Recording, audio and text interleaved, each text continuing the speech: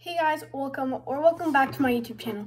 So I ordered a package recently. I ordered six different Tangle fidget toys and they came today. I was anxious all day to get them, but they're in this package. They came in this big box and my brother ordered like a whole bunch of Rubik's Cubes. If you want to see him unbox all the cool Rubik's Cubes he got, he got like a million different ones that are like weird, really weird. You go check out his channel, Grayson the Gamer, but let's open these tangles. They're each individually wrapped. This one is really cool.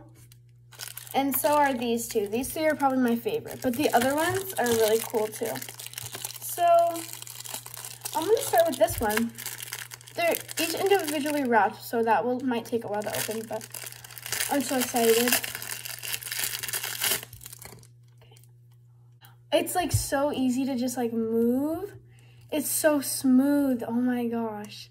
I also have textured monkey noodles that are coming tomorrow, so I'll make another video on that. This is so fun to play with. I'm gonna open them all. So let's open them.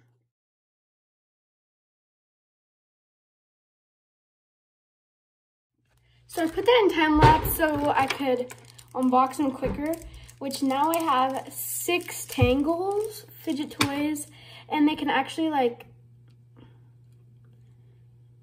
snap together and stuff, so you could have it like this. Um, this is basically a free range fidget. You can basically bend it however you want. Um, I really like these. I'll probably give one to my brother. I'm gonna bring one of them to school. It's a nice quiet fidget to just and it's kind of small like it's a good size. Um overall this was a really great package and i think that all six of these was like 12 dollars or something off of amazon.